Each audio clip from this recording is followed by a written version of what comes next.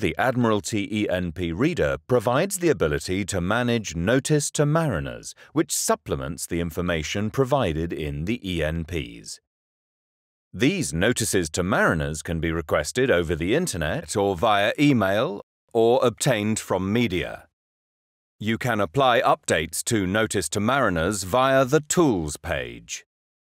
This is accessed by clicking on the Tools button of the navigation bar on the left-hand side of the screen. The Tools page will now be displayed. This shows tiles, each of which represents a wizard. Some of these display status information.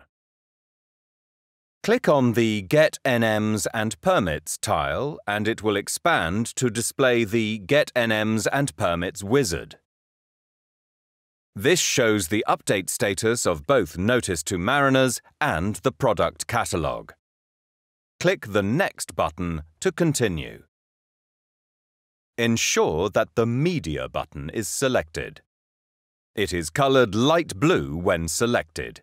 If in doubt, click it and then click Next.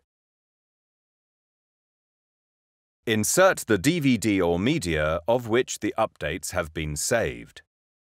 Click the Browse button to display a pop-up window with the title Browse for Folder. Select the relevant location and then click OK.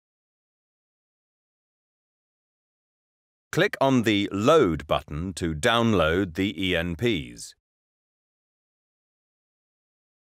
When complete, the Updates folder will show as successfully loaded. Click the Finish button to close the wizard and return to the Tools page.